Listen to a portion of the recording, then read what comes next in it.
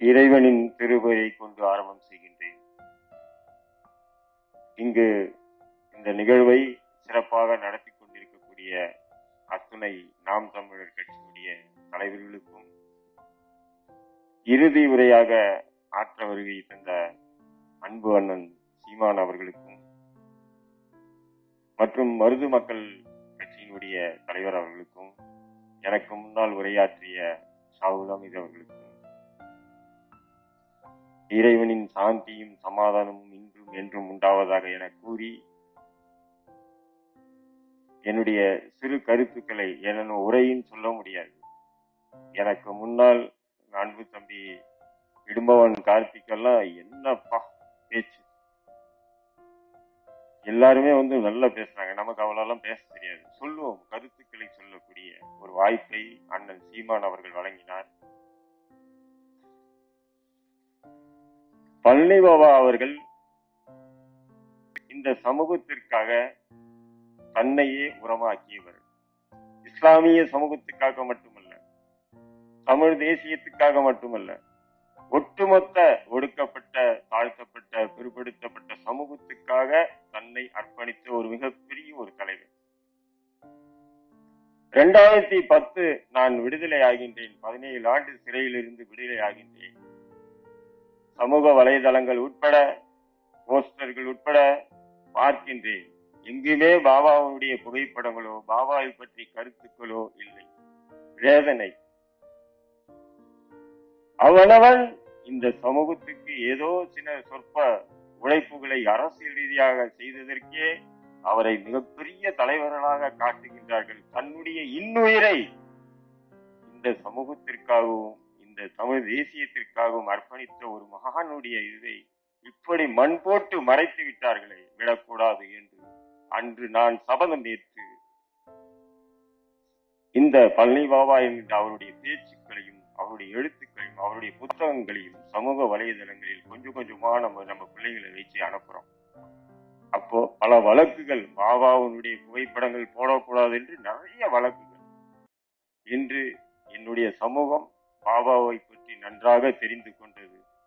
பல களங்களில் பாபாவை பற்றி பேசப்படுகின்றது. பாபாவை பற்றி வெறுத்தவர்கள் பாபாவை பற்றி புறம் பேசியவர்கள் பாபாவை பற்றி தவறாக பேசியவர்கள் எல்லாம் இன்று மேடை போட்டு பாபாவை பாராட்டி மாவீரன் என்று சொல்லக்கூடிய ஒரு நிலை உருவாயிருக்கு அது என் சமூகத்தில். அதை தவிர அதை தவிர அரசியல் ரீதியாக பொது தளத்தில் இன்று பாபாவை பற்றி கொண்டு வந்தது யார் என்றால் நாம் தமிழர் கட்சி தான்.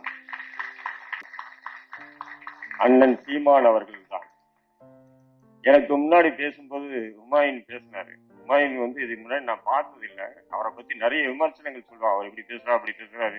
இஸ்லாத்துக்கு புறம்பெல்லாம் பேசுறாரு அப்படின்னு. அதுதான் வந்தோன்னு அவர் தேடி கை பிடிச்சி கை கொடுத்தேன் ஏன்னா இங்க பேசும்போது கூட சரியா தான் பேசினார். எதுவும் அப்படி புறம்பா பேசுங்க அவர் சொன்னார் பி டீம் அப்படின்னு. நல்லா ஒண்ணு புரிஞ்சுக்கீங்க. நாம் தமிழ் கட்சியோ அண்ணன் சீமான் அவர்களோ பி டீம் இருந்தாருன்னா நிச்சயமாக பள்ளி பாபா என்கின்ற ஒரு மாவீரனை ஆர் எஸ் எஸ் பாஜகவுக்கு மிகப்பெரிய சிம்ம சொப்பனமாக இருந்த ஒரு மாவீரனுடைய நினைவேந்தல் நிகழ்ச்சியை நடத்துவாரா என்பது நீங்கள் பார்க்கலாம் அவர் சொன்ன மாதிரி எனக்கு நாளைக்கு சொன்னா சொல்லுவாங்க பி டீம்ல இவரும் சேர்ந்துட்டாரு அது வேற விஷயம். அது அரசியல் களம். இங்கு பாபாவுடைய அந்த நுணுக்கமான அவருடைய பேச்செல்லாம் எப்படின்னு சொன்னீங்கன்னா நாங்கெல்லாம் உடன் பயணித்தவர்கள் என்ன நினைக்கிறாரோ அதை பேசுவாரு அதுவும் எப்படின்னா அந்த சூழல்ல. உதாரணத்துக்கு பாத்தீங்கன்னா ராஜீவ் காந்தி படுகொலை செய்யப்படுறாரு. அப்போ அந்த தமிழ் தேசிய இலங்கை விடுதலை புலிக்கோ அல்லது தமிழ் தேசியவாதிகளுக்கோ மிகப்பெரிய ஒரு நெருக்குதல் மத்திய சி புலனாய்வுத்துறை சிபிஆல் ஏற்படுகின்றது. அப்போ சில பேர் வந்து திக திமுக காரங்க அந்த வேட்டி எல்லாம் கட்டுறது கூட மறந்துட்டான். ஏன்னா அந்த அளவுக்கு கொடுமை. அந்த நேரத்துல பாபா மீட்டிங் போட்டு பேசுறாரு. ஒரு இடத்துல. அதாவது இலங்கை விடுதலை புலிகளால் ராஜீவ் காந்தி கொல்லப்படவில்லை. ராஜீவ் காந்தியால தான் இருபது தமிழர்கள் கொல்லப்பட்டாங்க என்ற ஒரு பதிவை அவர் பொதுமேடையில் வைக்கின்றார். யதார்த்தமா சொல்றார். அந்த நிகழ்வுகளை ஆதாரத்தோடு சொல்லுகின்றார். இந்திரா காந்தி அம்மையார் சுட்டு அதாவது சீக்கியர்களால் சுட்டு கொல்லப்படும் போது ஒரு கொன்ற பிறகு எப்பவுமே செத்ததுக்கு அப்புறம் ஒரு விசாரணை கமிஷன் வைப்பாங்க. இதனா ஒரு நீதிபதியை வச்சு. அதே மாதிரி விசாரணை கமிஷன் வைக்கின்றார்கள். அந்த விசாரணை கமிஷனில் இந்திரா காந்திக்கு நன்றாக தெரியும். தன்னை நோக்கி குண்டுகள் வரப்போது நான் சாக போகின்றேன் என்று தெரியும். இருந்தாலும் அவர் தற்காப்பு செய்வதற்கு உண்மை வழியே இல்லை. அப்படின்னு ஒரு முடிவு எடுக்கிறாங்க. அதனால பிரதமர் ஜனாதிபதி உட்பட முக்கியமான நபர்கள் தங்களுடைய உடம்புல வந்து அந்த தற்காப்புக்காக எரிகுண்டுகளை வைத்துக் கொள்ளலாம் என்ற அந்த விசாரணை ஆணையத்தினுடைய முடிவால ரெண்டு குண்டு இடுப்புல கட்டிட்டு இருந்தார் ராஜீவ் காந்தி. அந்த ரெண்டு குண்டு எக்ஸ்பிரே ஆயிட்டு வெடிச்சு இருபது தமிழர்கள் கொல்லப்பட்டாங்க. ராஜீவ்காந்தியால தவிர தமிழர்களால் ராஜீவ் காந்தி கொல்லப்படவில்லை என்கின்ற கருத்தை தமிழ் சமூகத்துக்கு கொண்டு வந்தார். இது எவ்வளவு பெரிய விஷயம்? உடனே அவர் அடுத்த நாள் என்ன பண்ணாங்க அரெஸ்ட் பண்ணாங்க. இதுல என்எஸ்சில போட்டாங்க. ஜெயிலுக்கு போயிட்டாரு. இருந்தாலும் தன்னுடைய கருத்தை அந்த நேரத்துல பேசுறதுக்கு பயந்துட்டு இருக்கக்கூடிய அந்த சூழலில் தன்னுடைய கருத்தை உறுதியா வந்து வச்சுட்டு போயிட்டாரு. அதே மாதிரி ராஜீவ் காந்தி வழக்கு நடக்குது.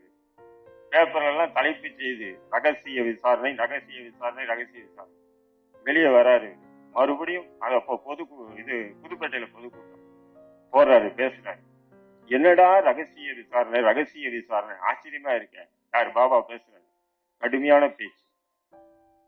இந்த உலகத்தில் ரகசியமா நடக்கிறது ஒன்னே ஒண்ணுதான். அது சாந்தி முகூர்த்தம் மட்டும்தான். அதுவே என்று வீதியில் வந்துச்சு.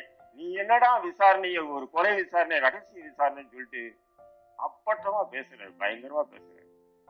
அடுத்த நாள கைது பண்றாங்க. ஆனா அப்ப என்எஸ்ஏ போடல ஏன்னா ஏற்கனவே என்எஸ் போட்டு போர்டுல வெளியே வந்துட்டாரு. மறுபடியும் போட்டார்னா நீதிபதி கிட்ட திட்டு வாங்கினதுக்காக என்எஸ்ஏ போடல அப்போ அவருடைய சித்தாந்தங்கள் ஒவ்வொன்றும் அந்த உரிமைக்காக அந்த மக்களுடைய அந்த நேரத்துல எந்த தலைவர்கள் பேசுகின்றார்கள் இல்லை பேசுறாங்க இல்ல அதை பத்தி எல்லாம் அவர் கவலைப்பட மாட்டார். தன்னுடைய கருத்துக்களை உறுதியாக எவ்வளவு பிரச்சனைக்கு வருது எவ்வளவு ஆபத்துகள் வருது எதை பற்றியும் கவலைப்படாமல் தன்னிச்சையாக பேசக்கூடிய இந்த மக்களை தட்டி ஆனா இந்த சமூகம் அவருக்கு ஒத்துழைக்கவில்லை.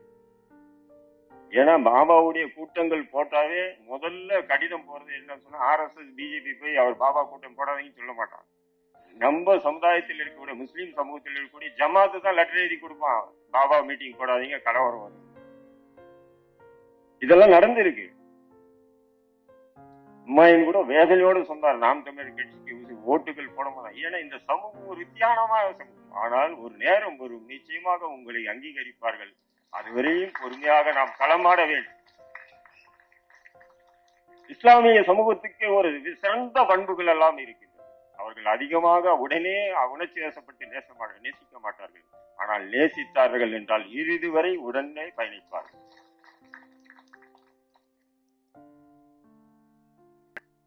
அதே மாதிரி பாத்தீங்கன்னு சொன்னா இப்போ பேசுறான் ஆர்எஸ்எஸ் பிஜேபி எல்லாம். யாரு? சோனியா காந்தியை வந்து கடுமையா பேசுறான் இட்டாலிக்காரி அப்படி இப்படின்னு இப்போ பேசுறான். ஏன்னா அவன் ஆட்சி இல்லையா? காங்கிரஸ் ஆட்சியில் பேசுனா தூக்கி வெண்ட் எடுத்துருவாங்கன்னு பயம். இப்ப பேசுறான். ஆனால் என்னுடைய தலைவன் பழனி பாபா அன்றே பேசினார். தன் தன்னுடைய வீட்டுல புனிதா என்ற ஒரு பெண்ணை வளர்க்கிறார். வளர்ப்பு மகளா வளர்க்கிறார். வளர்ப்பு மகளை வளர்க்கும் போது அப்போ வந்து கியூ பிரான்ச் வருது டிஎஸ்பி வராரு. வந்து இவங்க வந்து இலங்கை பெண்ணு நீங்க வளர்க்க கூடாது இவங்களை வீட்டுல வைக்க கூடாது. ஒண்ணு இவங்களுக்கு வந்து முகாம்ல அனுப்பணும். இல்லைன்னு சொன்னா அவங்க நாட்டுக்கு அனுப்பணும். அது மட்டும் இல்ல இந்த பெண்ணுக்கு விடுதலை புலிகளுடைய தொடர்பெல்லாம் இருக்கு. அப்படி இப்படின்னு சொல்லி பயங்கரமா பேச அப்ப பாபா அந்த அதிகாரிய உட்கார வச்சுக்கிட்டு சிகரெட் அடிப்பாரு பாபா. அப்படி அடிச்சுக்கிட்டே கேட்டாரு தட்டிக்கிட்டு ஏயா நான் ஒரு இலங்கை பெண்ணை இங்க நான் உட்கார வச்சிருக்கேன்றதுக்காக இவ்வளோ உனக்கு பிரச்சனைன்னு சொல்லி உடனே கலப்பு சொல்றீங்க இந்த நாட்டினுடைய பிரதமர் அந்த பிரதமர் வீட்டிலேயே இத்தாலி நாட்டை சேர்ந்த ஒரு பெண் இருக்கின்றாள். அப்போ என்றால் எவ்வளவு ரகசியங்கள் அம்பலமாகும். அப்போ அந்த பெண்ணை வெளியேற்று நான் இவரை வெளியேற்றுகிறேன் என்று எவ்வளவு பெரிய விஷயம் அது? நான் இலங்கை பெண்ணை வச்சிருக்கேன் நீ வெளியேற்று சொல்றேன் இவ்வளவு ஆபத்து வரும் இந்தியாவுக்கு ஆபத்து வரும் அப்படி வரும் இப்படி வரும்னு சொல்றேன். இத்தாலி பெண் வச்சிருக்கியா? ஒரு ரா- ஒரு பிரதமர் ஒரு பிரதமருடைய வீட்டுல வந்து வச்சிருக்கேன்னு சொன்னா எவ்வளவு ரகசியங்கள் அந்நிய நாட்டுக்கு போகும்?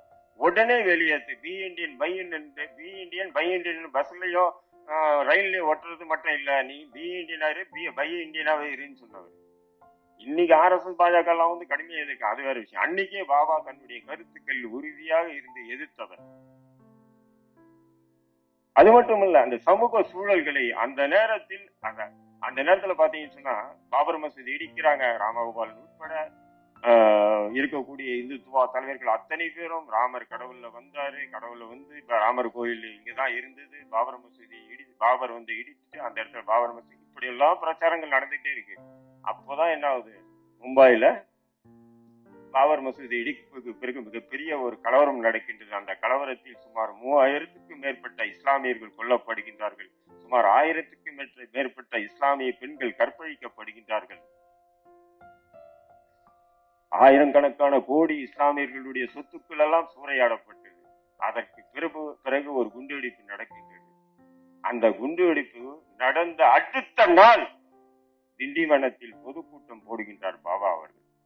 அப்ப டாக்டர் ஐயா ராமதாஸ் ஐயா அவரும் பக்கத்துல உட்காந்துருக்காங்க அப்போ அந்த குண்டுவெடிப்பு அதாவது மும்பை குண்டுவெடிப்பை பாபா பேசும்போது சொல்றார் அவருக்கே உண்டான பாணியில். மும்பையில் வெள்ளிக்கிழமை மூன்று மணிக்கு மேல குண்டு வெடிக்குன்னு எனக்கு தெரியும். மும்பையில மூணு மணிக்கு குண்டு வெடிக்குன்னு எனக்கு தெரியும்.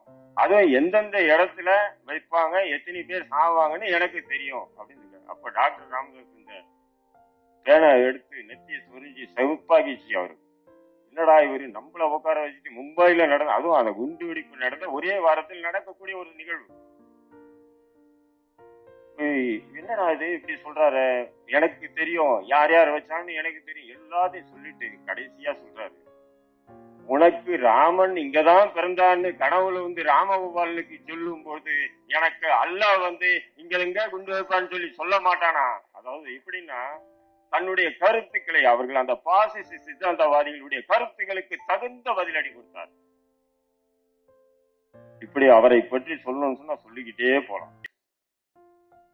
ஏன்னா அண்ணன் வந்து பேசுவாங்க. நான் இன்னைக்கு இங்க வந்ததே வந்து அண்ணனுடைய பேச்சை கேட்கறது தான் ஏன்னா இன்னைக்கு அவரை நம்பி நிறைய பேர் பேசுறாங்க அவங்க கட்சியில். ரொம்ப ஆச்சரியமா இருக்கு. இந்த அளவுக்கு எந்த ஒரு அமைப்பிலையும் இப்படி ஒரு பேச்சாளர்களை அவரு அவரு கைத்தட்டி ஊக்குவிக்கிறார் பாருங்க. அது என்னால எந்த ஒரு தலைவரும் உருவாக்கி ஊக்குவிக்க மாட்டாங்க. எங்கடா கொஞ்சம் அதிகமா பேசினா நாளைக்கு நம்மளை விட்டு போய் தனி கட்சி ஆரம்பிக்காங்கன்னு சொல்லிட்டு அப்படிதான் மட்டத்தை தான் பார்ப்போம் என் பக்கத்துல உட்காந்து பார்த்துட்டே இருக்கு. அப்போ இவ்வளவு ஒரு திறமையான ஒரு நல்ல ஒரு ஒழுக்கமான இந்த நாம் தமிழ் கட்சி நிச்சயமாக இன்று இல்லை நிச்சயமாக ஒரு நாள் வெல்லும். அந்த வெல்லும் போது இந்த சமூகம் உங்களோடு துணை நிற்கும் என்று கூறி எனக்கு வாய்ப்பளித்த ஒரே ஒரு விஷயம் கடைசியா சொல்றேன்.